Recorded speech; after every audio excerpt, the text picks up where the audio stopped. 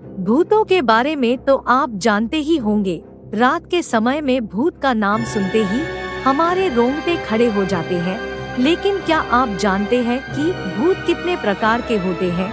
अगर नहीं तो आज हम आपको भूतों के प्रकार के बारे में बारी बारी बताएँगे। आइए जानते हैं। भूतों के प्रकार।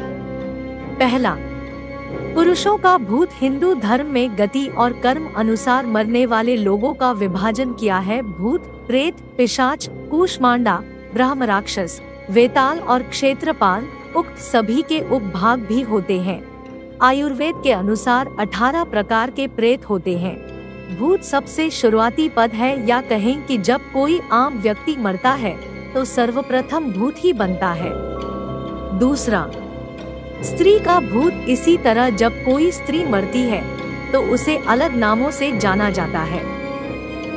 माना गया है कि प्रसुता स्त्री या नवयुवती मरती है तो चुड़ैल बन जाती है, और जब कोई कुंवारी कन्या मरती है तो उसे देवी कहते हैं। जो स्त्री बुरे कर्मों वाली है, उसे डायन या डाकिनी करते हैं। इन सभी की उत्पत्ति अपने पापों, व्याभिचार अकाल मृत्यु या श्राद्ध न होने से होती है।